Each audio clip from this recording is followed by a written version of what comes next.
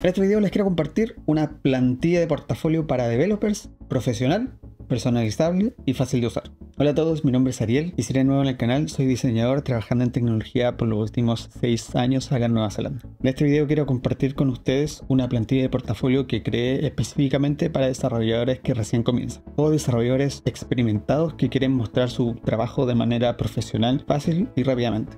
Llevo más o menos 10 años trabajando en el área de tecnología y diseño web y aprendí mucho de forma autodidacta y trabajando junto a desarrolladores que me enseñaron todo lo que sé acerca de código. Uno de los comentarios que más he escuchado de mis colegas es que pueden hacer que funcione, pero no saben cómo hacer que se vea bien. Es que no sé qué colores usar, es que se ve desordenado, es que no sé nada de tipografía. Todo esto lo vamos a solucionar hoy. Para crear tu portafolio tienes que dar una buena impresión desde el comienzo. Es lo primero que una reclutadora va a mirar y tienes que darle una buena impresión instantáneamente encontrar tu información personal, idealmente un poco sobre ti y saber sobre tu experiencia. Esos son los tres principales puntos que tienen que encontrar. Si pueden encontrar esto, van a pasar a la siguiente sección. Tienes que darle contexto y ponerte en el lugar de la persona. Lo primero que vamos a hacer es dibujar una idea rápida de cuáles son las secciones.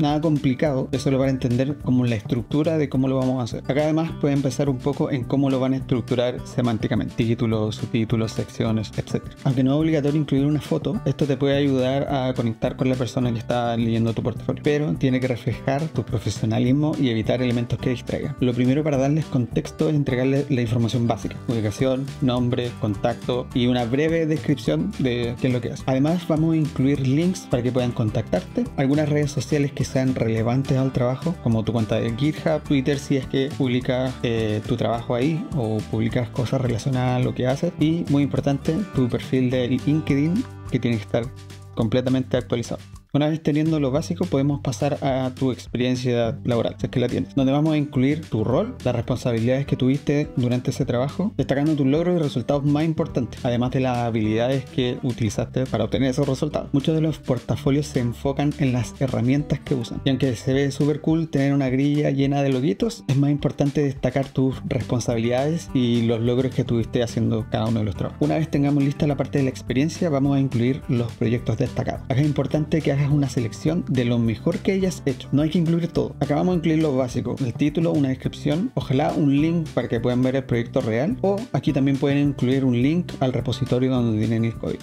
Y aunque creo que la educación formal no es tan importante, no es más importante los proyectos que tienes, lo vamos a incluir como una buena práctica. Y además vamos a incluir cualquier tipo de certificación o curso que hayan hecho. Una vez tengamos todo esto definido, vamos a pasar al código.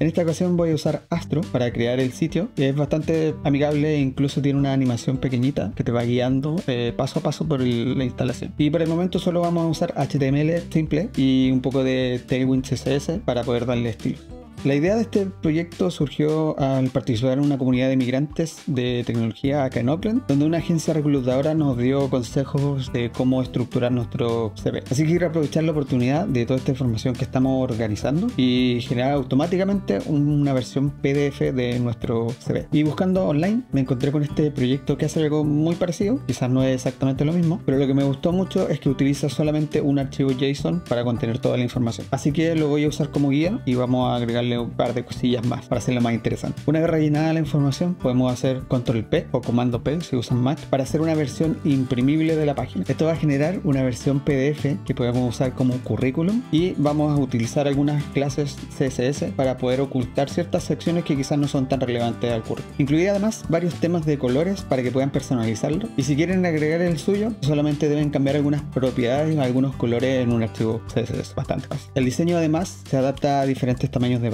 y tiene su versión DAC. Les voy a dejar el link al repositorio en la caja de descripción junto con un preview de cómo quedó finalmente y además una guía paso a paso de cómo instalar Astro y Tailwind Si te gustó esta idea te puede interesar este video de aquí donde les comparto una página que creé con una guía completa si es que estás interesado o tienes pensado venir a Nueva Zelanda.